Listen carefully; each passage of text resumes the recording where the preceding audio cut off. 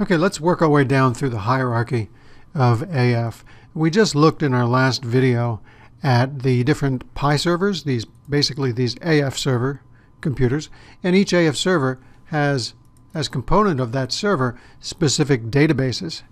So as you can see, this particular server here has these three databases.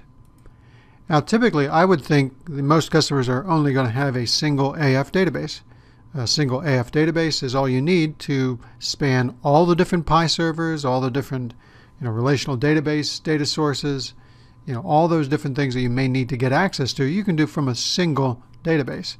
But there are some situations in which you want multiple databases. Uh, let me just demonstrate again the difference between the two. If I look at Student 01 database, that has no elements in fact, and probably nothing in the library, no templates, or anything like that built as of right now. It's basically a blank. And if we look at this other database, this other AF database, training sample, on that same AF server, if we look at the elements, there are many, many elements.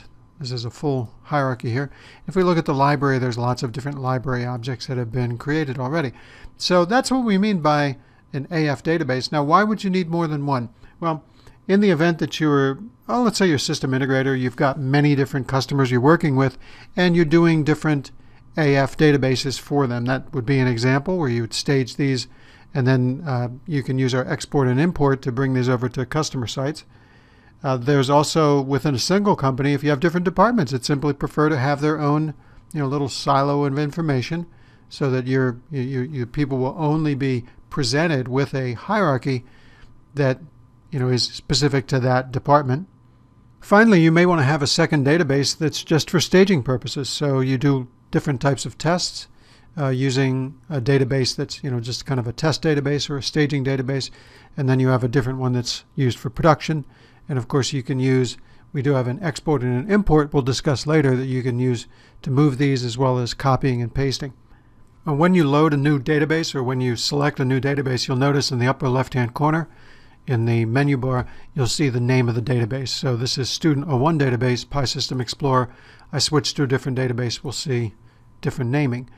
Now I'm logged in as a, a power user who's got, uh, well, the administrator who has full control over everything on this AF, copy of AF.